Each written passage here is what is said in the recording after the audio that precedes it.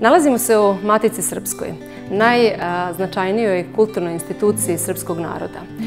Ovo zdanje bilo je naime građeno u početkom 20. veka za sirotište za Srpsku pravoslavnu siročad. Međutim, kratko je trajalo u tom smislu jer je završeno pred sam Prvi svjetski rat, tako da kasnije u posleratnom periodu donesena je odluka da Matica konačno po svom proseljenju u Novom Sadu dobije svoje sedište u ovoj zadužbini velike dobrotvorke Marije Trandafila.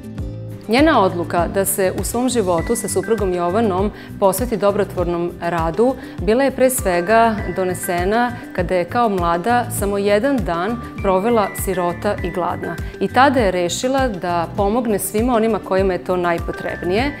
Ne samo to, ona je radila mnoge druge stvari da za dobrobit srpskog naroda podržavala je i crkvu i u obližnjoj Nikolajevskoj crkvi sahranjena je sa svojim suprugom.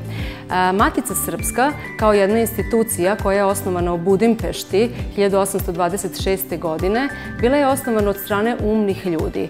Pre svega tu su bili mnogi koji su podržavali ove e, odluke, a i Sava Tekelija koji je naravno velikom zaslugom svojom darovao e, svoj celokupni e, imetak Matici Srpskoj.